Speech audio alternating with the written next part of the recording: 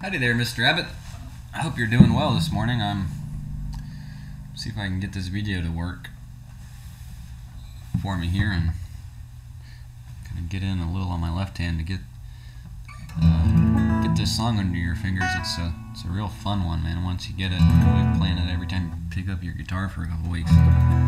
But um, yeah, so it's at an E, right? And I don't I don't use a capo, and um, that being said, the first fret here on the third string, that uh, major third, the A flat of the of the song, uh, or the key of E major, that's down the whole time. So everything is coming around that note being there. It can be a tendency to want to take it up and make it a minor chord, but uh, you've got that minor seven in there, and it's a real uh, dominant type of sound.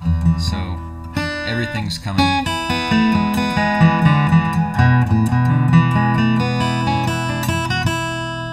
With this note down the whole time. So, um, just keep that in mind. There's a few licks uh, that happen over and over again that once you figure that much of it, you've almost got half the song. The main one being.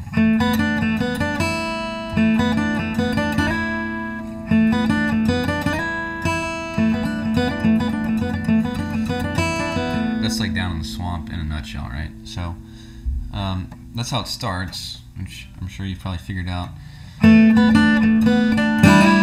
Whoop, that was a little sloppy. Sliding into that fifth fret and then against open E there too, you know.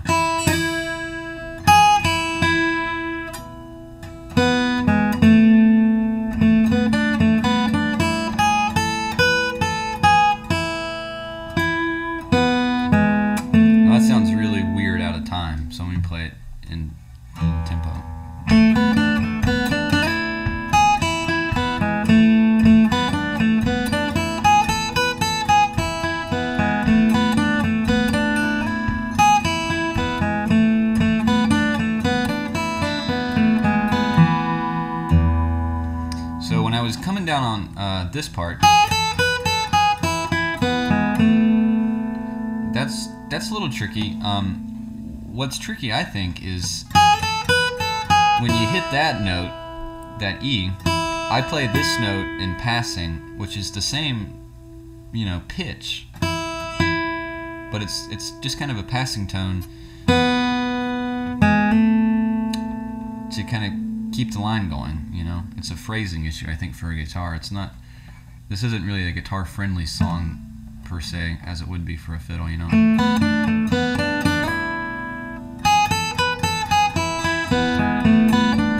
And just kind of rolls after that. You know. There's not really any any space between it. So that's what's going on with that. that that's kind of the one tricky part of the uh, of the A.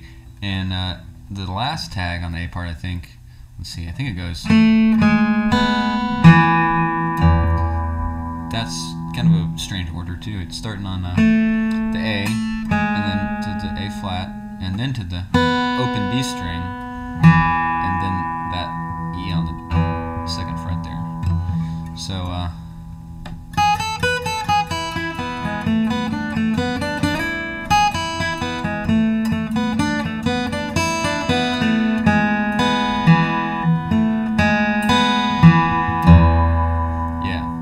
So hopefully that'll help. The B part uh, starts on the open D. That open A, and the same rhythm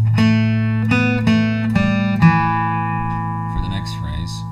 You start on A that time. Right, and then that intro lick again.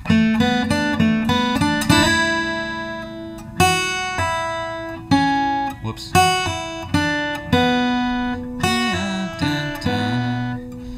B part.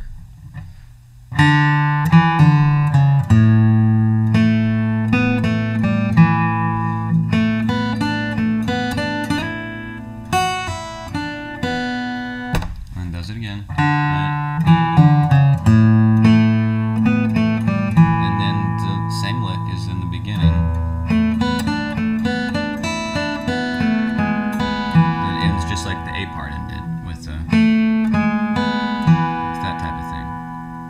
So I'll play it one time through um, at a medium tempo. Uh, I'll just do 1A and 1B.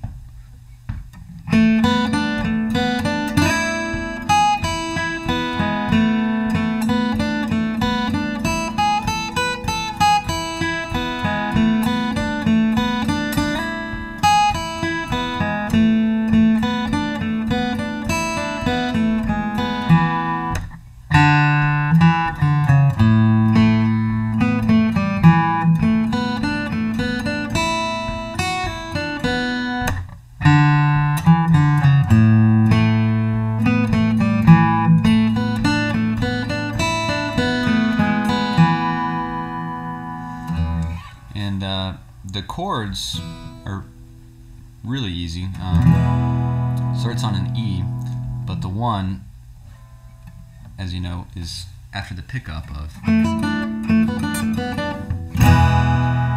So it's an anticipated one, you know. Dun dun dun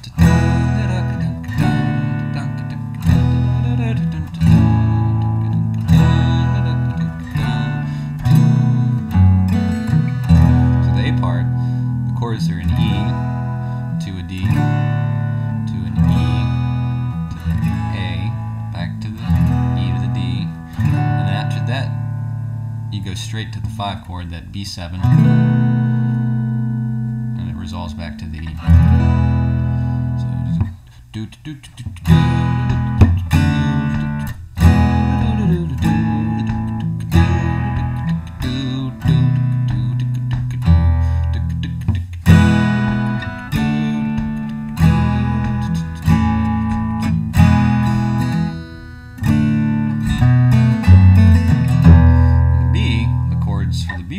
start on that seven, that D chord, just like the note. It goes to the four, back to the one, and then a five.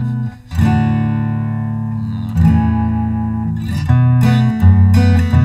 a- So the weird part in the chords is just the rhythm of it, right?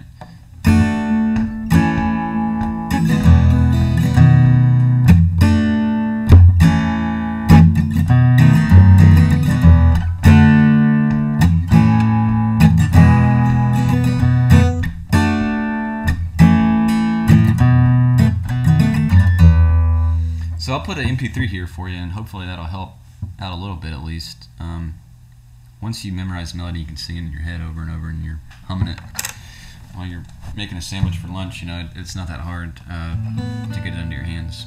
That's the only way I can learn tunes is to uh, just listen to it probably about five or six times in a row, and then you kind of get sick of it, but at least you can have enough uh,